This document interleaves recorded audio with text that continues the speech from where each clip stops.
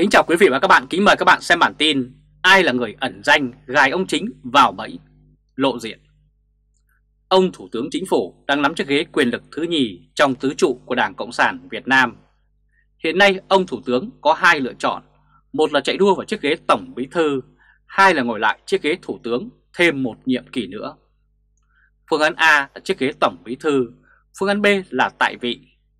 Phương án B không hề tồi chút nào đã làm chính trị mà không có tham vọng quyền lực thì không thể nào, cho nên nỗ lực để lên vị trí cao nhất trong đảng là mục đích của ông Thủ tướng. Nếu nói đó là mục đích ông Thủ tướng thì cũng là mục đích của ông Chủ tịch Phúc và cũng là mục đích của ông Vương Đình Huệ, Chủ tịch Quốc hội hiện nay. Ngoài ra còn có tin ông Lương Cường, Ủy viên Bộ Chính trị, chủ nhiệm Tổng cục Chính trị. Tuy nhiên, cửa trong Lương Cường không cao bằng cửa dành cho ba trụ trong tứ trụ triều đình hiện nay. Đây là hình ảnh ông Chủ tịch nước Nguyễn Xuân Phúc không có nhiều cơ hội để tham gia cạnh tranh cho chiếc ghế cao nhất trong đảng vào thời gian tới. Tạm thời bỏ qua ông Lương Cường qua một bên, giờ xét lợi thế của ba chân trụ, xem chân nào mạnh, chân nào yếu. Ông Chủ tịch Nguyễn Xuân Phúc là người có thủ đoạn nhất trong ba chân trụ, nhưng ông bị đánh giá là yếu nhất. Tại đại hội lần thứ 13 của Đảng Cộng sản Việt Nam, ông Phúc đã thất thế trước ông Chính trong việc tranh đoạt chiếc ghế thủ tướng thì xem như ông Phúc không đủ khả năng để đấu với ông Chính rồi. Và lại ông Phúc hiện nay đang bị phân tâm bởi những rắc rối do vợ ông mang lại.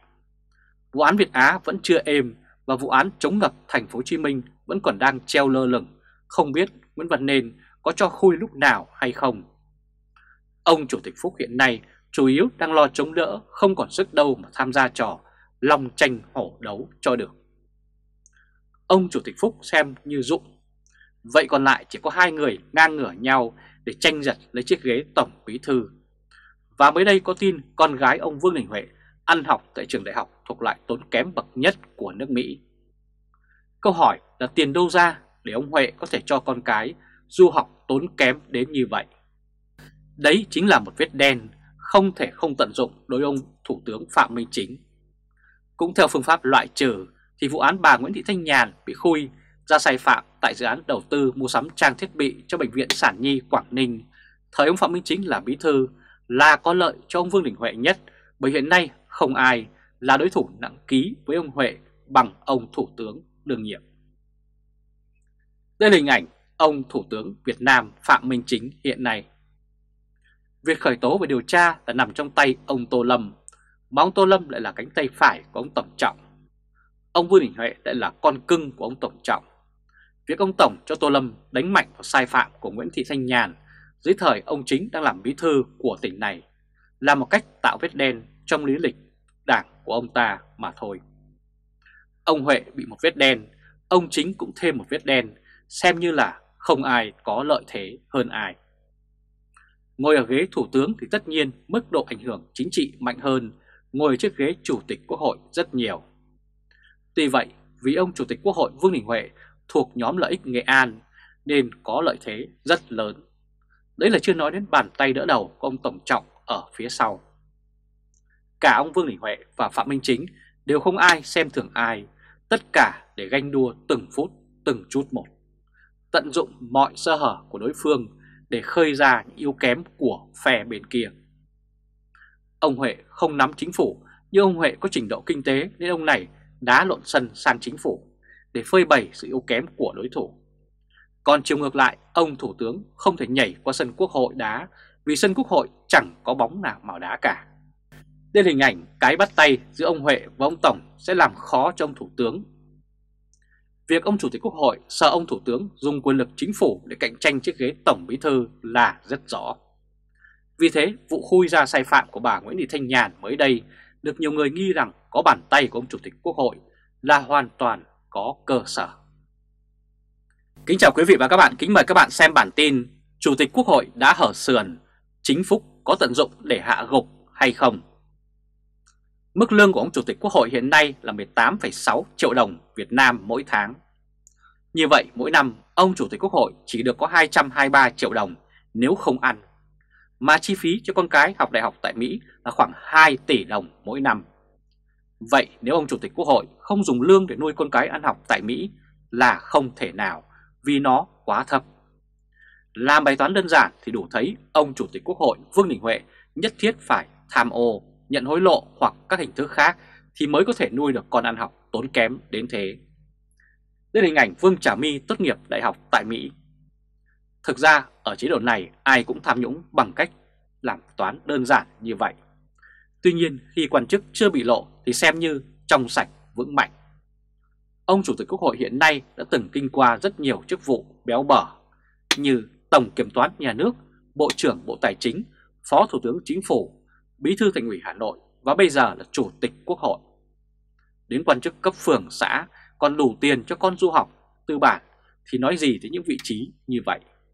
Ông Chủ tịch Quốc hội dư sức nuôi con học hành ở các nước giàu có, thời gian rất dài. Mới đây trên mạng xã hội đã xôn xao hình ảnh con gái ông Chủ tịch Quốc hội Vương Đình Huệ là Vương Hà My nhận bằng cử nhân khoa kinh tế trường đại học ở tiểu bang Ohio, Hoa Kỳ. Thông tin cho biết ngôi trường này hiện có hơn 100 du học sinh Việt Nam, đa phần là người miền Bắc và thuộc thành phần hạt giống đỏ. Học phí trường này là từ 60.000 đến 70.000 đô la Mỹ mỗi năm, tùy theo các ngành, tức là tầm 1,4 đến 1,6 tỷ đồng mỗi năm. Nếu tính thêm chi phí ăn ở thì không dưới 100.000 đô la Mỹ mỗi năm. Với mức học phí này, ông Vương Đình Huệ phải mất 10 năm lương mới có thể nuôi con gái ăn học được trong có một năm.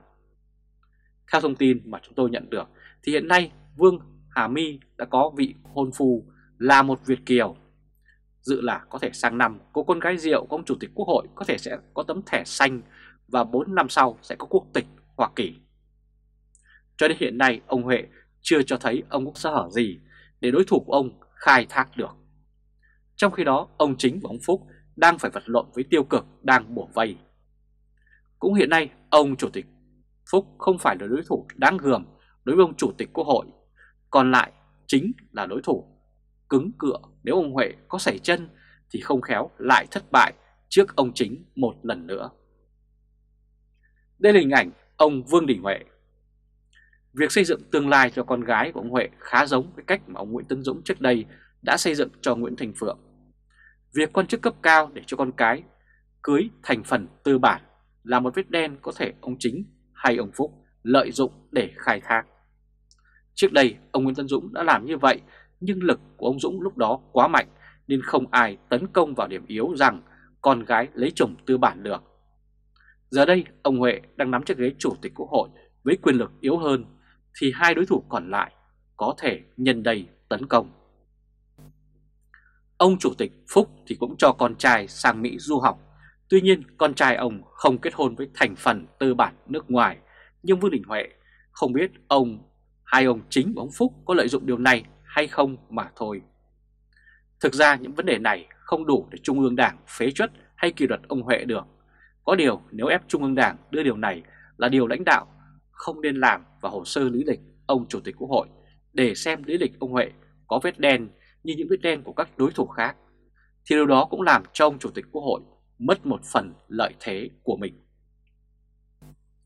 Đây là hình ảnh liệu ông Tổng có xem xét tiền ở đâu ra để ông Huệ nuôi con ăn học tốn kém như vậy ở bên Mỹ hàng năm. Đường đua đến chiếc ghế Tổng Bí Thư còn 3 năm nữa, không thể nói là dài mà cũng không thể nói là ngắn được. Nếu không tận dụng từng bước xảy chân của đối thủ ngay tới bây giờ thì e rằng tầm 2 năm nữa là quá muộn cần phải bôi đen thành tích của nhau. Khi đó tất cả các đối thủ đều có tỉ vết thì cuộc đua sẽ cân bằng hơn. Đó là điều mà người làm chính trị nào cũng cần tính đến.